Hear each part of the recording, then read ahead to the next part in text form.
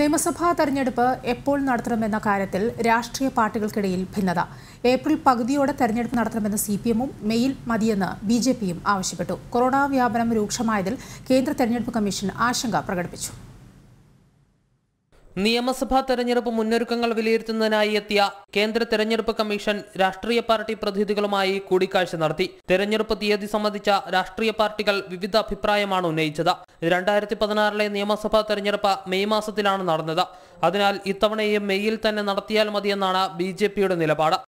May മാസത്തിൽ നടത്തണമെന്നാണ് B J P ആവശ്യപ്പെട്ടിരിക്കുന്നത്. കഴിഞ്ഞ പ്രാവശ്യത്തെ പോലെ ഈ മൺസൂൺ തുടങ്ങുന്നതിന് മുമ്പായിട്ട് തന്നെ തുടങ്ങണം എന്ന് ഭാരതീയ ജനതാ പാർട്ടി ആവശ്യപ്പെട്ടിട്ടുണ്ട്. ഏപ്രിൽ ആദ്യം തെരഞ്ഞെടുപ്പ് നടത്തണമെന്ന് ഇടതു പാർട്ടികളും ആവശ്യപ്പെട്ടു. കലാശക്കൊട്ട് വേണമെന്ന് സി പി ഐയും സി പി എമ്മും ആവശ്യപ്പെട്ടു. കുട്ടിക്കലാശം പൂർണമായിട്ടും നമുക്ക് ഒഴിവാക്കാൻ കഴിയില്ല. അതുകൊണ്ട് കോവിഡിന്റെ പ്രോട്ടോക്കോളൊക്കെ പാലിച്ചുകൊണ്ട് വാഹനങ്ങളുടെ കാര്യത്തിൽ നിയന്ത്രണം ഉണ്ടാവണം. നിയന്ത്രിതമായ കുട്ടിക്കലാശം എന്നുള്ള അഭിപ്രായമാണ് ഞങ്ങൾ അതുകൊണ്ട് തന്നെ അതിൽ പറഞ്ഞിരിക്കുന്നത്.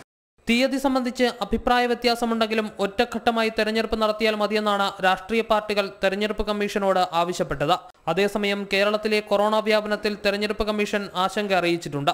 തദ്ദേശ തെരഞ്ഞെടുപ്പിന് ശേഷം കൊറോണ വ്യാപനം രൂക്ഷമായ സാഹചര്യവും തെരഞ്ഞെടുപ്പ് കമ്മീഷൻ വിലയിരുത്തി. Chief secretary D G P അടക്കമുള്ള ഉദ്യോഗസ്ഥരോടും ചർച്ച നടത്തുന്ന തെരഞ്ഞെടുപ്പ് കമ്മീഷൻ നാളെയും കേരളത്തിൽ തുടരും. ജനം തിരുവനന്തപുരം.